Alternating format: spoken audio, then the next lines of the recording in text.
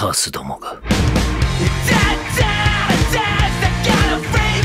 Hola, soy Bash. Yo, hola amigos, bienvenidos una vez más a nuestro canal. Y bueno, día de hoy, después de bastante tiempo, regresamos con un nuevo preguntas y respuestas de Shumatsu no Valkyrie. Así es, nos encontramos en medio del noveno combate y hay muchísimas cuestiones interesantes, por lo que en este video estaremos respondiendo a algunas de las mejores preguntas que nos dejó la comunidad. Así que sin nada más por añadir, comencemos de una vez. Y la primera pregunta es dejada por Zoroark Excelier que nos dice, ¿es posible que veamos a Jerjes en las gradas viendo a Leonidas y apoyándolo. Y bueno, la verdad es que sí veo posible que Jerjes aparezca en las gradas, pero tanto como apoyándolo no estoy muy seguro, ya que a final de cuentas no es que ambos sean amigos. Además de que Jerjes se sentía un dios, por lo que probablemente incluso se encuentre apoyando a Apolo. Pero bueno, sería interesante ver su aparición. Y la segunda pregunta de Zoroark nos dice, debido a este combate, ¿cuáles crees que serían los rivales de Simo Haya y Odín? Ya que estos dos eran los oponentes perfectos para Leonidas y Apolo. Y bueno, la verdad es que esta pregunta sinceramente me llama bastante la atención, ya que como dices, a estos dos personajes les quitaron sus más grandes rivales, al menos desde el punto de vista del fandom. Pero bueno, precisamente uno de los combates más sonados y que he escuchado una y otra vez es el décimo Haya contra Odin, aunque personalmente no me parece la opción más adecuada. Creo que más que nada se pide este versus porque había un fanfic al respecto, pero yo personalmente no veo tan compatibles a estos dos. Ahora sí diciendo mis teorías sobre quién enfrentará a Odin, creo que uno de mis mejores candidatos sería Siegfried, ya que parece ser que estos dos van a tener historia, aunque también Nostradamus podría ser una buena opción. Y hablando directamente de Simo Haya, la verdad es que sí me quitaron a mi candidato principal, pero si tuviera que decir a alguien, tal vez se pueda enfrentar a Loki o también a Susano, ya que creo que en este punto ya no tenemos peleadores de largo alcance tan claros, pero bueno ya veremos qué es lo que ocurre. Y ahora continuamos con la segunda pregunta que es de Sword63 y nos dice, ¿crees que alguno de los personajes de este combate de Leónidas contra Apolo tendrán dos pasados como ya viene siendo costumbre o que dejarán un pasado para cada uno. La verdad es que creo que algo que se tiene que corregir es que a final de cuentas se les dé la misma cantidad de pasado a cada uno de los personajes para que así no se vea tan claro quién va a ser el ganador, ya que sí un patrón que se ha estado repitiendo es que el pasado más completo y más traumático se lo dan al ganador y honestamente me gustaría que en esta pelea no sepamos directamente quién de los dos va a ganar mediante los pasados, por lo que el hecho de dedicar dos capítulos de pasado para cada uno de ellos me parecería lo más correcto. Pero bueno, continuamos con la tercera pregunta que es de Fénix el Guerrero Inmortal y nos dice Pregunta Pokedra, ¿te gustaría que Siegfried tuviera un final similar a su homónimo, el Caballero Siegfried de Alpha, del anime de Saint Seiya y se inmolara junto con su oponente para así evitar darle ventaja a los dioses en el torneo y por qué no, para un final más dramático que Brugil se sacrificara junto con él, saludos.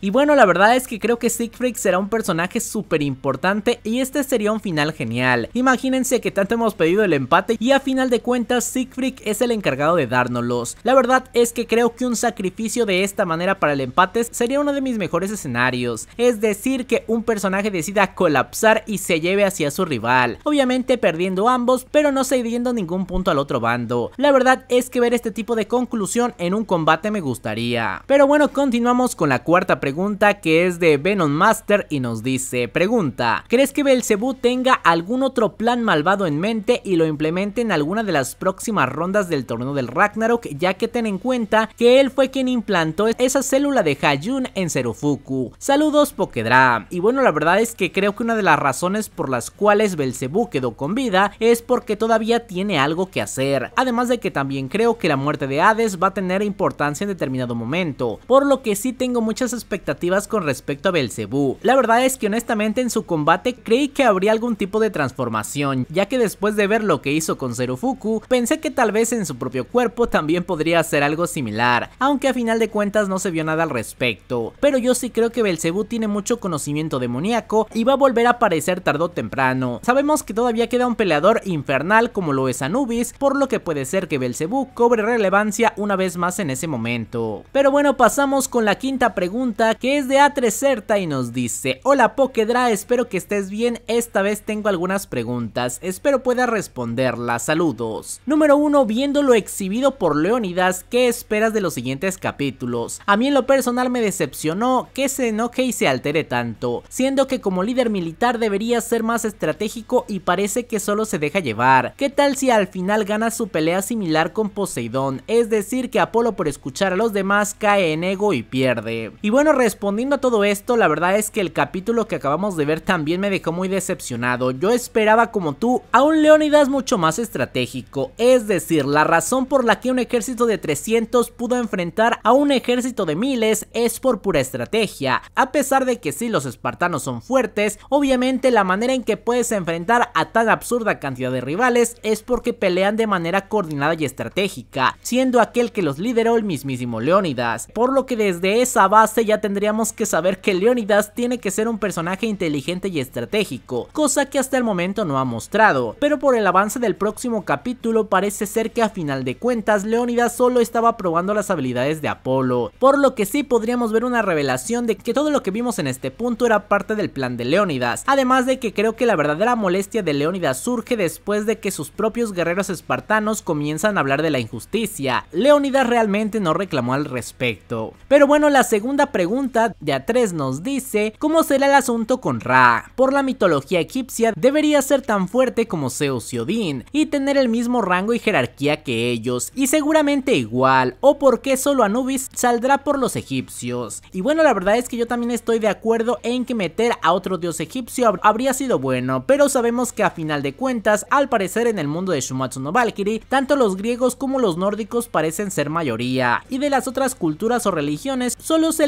combatiente, a mi parecer más que nada esto fue para tener la mayor variedad posible, además de que si el asunto de griegos contra nórdicos era cierto, pues obviamente por eso esos dos bandos tienen más personajes, pero bueno hablando del asunto de Ra, yo creo que claramente va a estar en la historia de Anubis o al menos debería ser mencionado, aunque sabemos que en ocasiones Shumatsu no sigue tan fielmente la mitología, por lo que solo puede hacer una pequeña aparición, pero dejando en claro que Anubis es el más fuerte de los egipcios. Y bueno, por otro lado, la tercera pregunta nos dice cuál sería la relación entre Satanás y Hayun. Básicamente han dicho que son demonios o dioses demonios legendarios, sumamente fuertes y antiguos. ¿Creen que se hayan cruzado alguna vez o tal vez haya más demonios o dioses demonios como ellos? Y bueno, la verdad es que el asunto del inframundo ha quedado con varios misterios importantes. De hecho, la situación de Satanás se suponía que se tenía que resolver con Belcebú, pero a final de cuentas nada pasó. La única opción que nos queda es Anubis y que por ahí podamos saber más al respecto, pero directamente la única forma que veo en que realmente podamos saber más acerca de eso es que se haga un spin-off de algún personaje del inframundo. Yo creo que ya con esto sí podríamos tener mucho más información respecto a las criaturas demoníacas que hay en el inframundo en Shumatsu no Valkyrie. Y la verdad es que un spin-off dedicado a Hades me gustaría bastante. Vamos a ver si se animan. Pero bueno, ahora pasamos con la sexta pregunta que es de Andy Zambrano Plus y nos dice, número uno, si no es Leonidas, ¿quién consideras que será el peleador humano de la última ronda y contra quién se enfrentaría? Bueno, creo que la respuesta contra quién se enfrentaría es la más fácil. A mi parecer, el último dios en pelear será Odín, al menos así parece la situación, ya que se nos ha mostrado la importancia de Odín y que él está detrás de alguna manera de todo el Ragnarok, por lo que sin duda Odín tendría que ser el último dios. Ahora la pregunta es, ¿quién enfrentará a Odín de los humanos en esa última ronda? Y esa sí es una pregunta muy difícil, ya que como dije siguiendo la historia, creo que Siegfried podría ser un personaje construido para eso, hay muchísimas posibilidades y personalmente sería mi candidato principal, aunque sabemos que a final de cuentas cualquier cosa puede ocurrir. Nostradamus creo que en términos de poder sin duda alguna también podría tener el potencial de enfrentar a Odín y sería interesante, aunque no sé si este combate podría tener tanto trasfondo como si lo tiene Siegfried. Y por último no descartemos a Okita Souji que no pelea y no pelea y a final de cuentas podría ser que le dejen el último combate, la verdad es que ya ni estoy seguro. Pero bueno, la segunda pregunta de Andy nos dice, ¿crees que el Volum de Rasputin podría ser un bastón mágico? La verdad es que creo que sí. Sabemos que probablemente uno de los recursos principales de combate de Rasputin va a ser la magia, por lo que un bastón mágico como Volum tendría muchísimo sentido, para así poder potenciar su magia. Creo que esa es una opción. Pero bueno, continuamos con la séptima pregunta, que es de Mizuki Taugu y nos dice, hola acá mis preguntas. Número 1, ¿crees que Rasputin Rasputin sea un personaje clave o que oculte algo importante para la trama o sea uno de los últimos luchadores, esto porque es el único humano que no se ha revelado aún y hay un gran misticismo en su imagen. La verdad es que esto me sonaría bastante importante pero no estoy muy seguro ya que las últimas rondas hemos tenido la revelación de personajes que no se habían mostrado antes de repente. Estoy hablando del caso de Qin Shi Huang y del propio Leonidas, los cuales a pesar de que no se revelaron con anterioridad, a final de cuentas solo se presentaron en el mismo combate y ya. Y a mi parecer veo poco probable que Rasputin vaya a ser el último peleador del Ragnarok, por lo que yo pienso que simplemente va a aparecer en determinado momento, aunque sí me llama la atención que este sea el último peleador en ser revelado, por lo que conociendo a los mangakas muy probablemente tengamos alguna sorpresa en su diseño, pero una vez más sí me gustaría un diseño de Rasputin lo más apegado al original que se pueda, esperemos que nos lo den. Pero bueno, ahora pasamos con la octava pregunta que es de Sangonesal y nos dice, si Apolo pierde se reforzaría la teoría de la rebelión de los nórdicos en el caso de que esto pasara, ¿en qué momento crees que se daría la hipotética rebelión? Y bueno, la verdad es que sí, sería bastante sospechoso el hecho de que Apolo también pierda, pero hablando específicamente de la rebelión, pues yo esperaría que a final de cuentas se dé en el último combate, es decir, después de que Odín finalice su combate final, o incluso en medio del combate tal vez todo podría haberse interrumpido por una declaración de guerra de Odín. Imagínense que al momento de que Odín sale al Ragnarok, simplemente dice que los nórdicos le declaran la guerra a los griegos. La verdad es que este podría ser un final realmente escalofriante, pero bueno, sin duda alguna, hay muchísimas posibilidades, y poco a poco el Ragnarok se va construyendo hacia llegar a esa épica conclusión, y ya veremos cómo se maneja todo esto. Pero bueno, pasamos con la novena pregunta, que es de Enrique el Pro y nos dice, mi pregunta es la siguiente, si Apolo no hubiese escuchado a las gradas y no se hubiera limitado, podría haber ganado el combate sin mucho esfuerzo, de ser así estaríamos ante uno de los enfrentamientos más disparejos del Ragnarok. La verdad es que me duele admitirlo, pero por lo que se ha mostrado tendría que ser así. Como ya mencioné, supuestamente en el próximo capítulo veríamos el despertar de Leónidas y la demostración de que al parecer esta primera parte del combate solo fue su calentamiento. De cualquier forma, creo que el hecho de dejar que Apolo te golpeara en tantas ocasiones es completamente brutal, ya que supongo que Apolo tiene ataques extremadamente fuertes,